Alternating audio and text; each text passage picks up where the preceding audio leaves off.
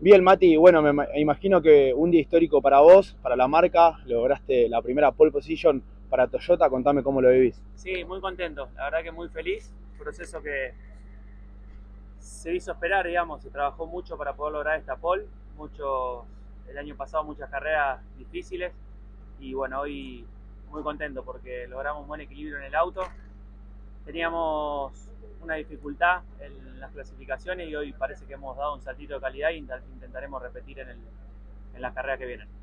Bien, Mati, ya desde, desde la mañana se te mostró firme, se mostró que el auto cayó bien en pista. Contame, bueno, primero eso y después qué, eh, qué laburos hicieron de cara a lo que fue la clasificación para lograr este gran resultado.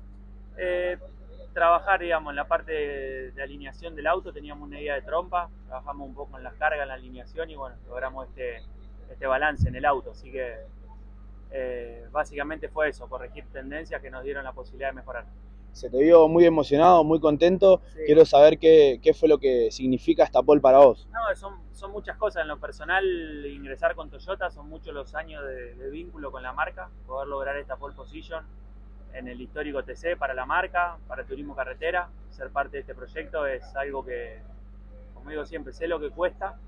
Entonces, cuando uno logra un parcial de esta naturaleza, hay que lo tiene que disfrutar.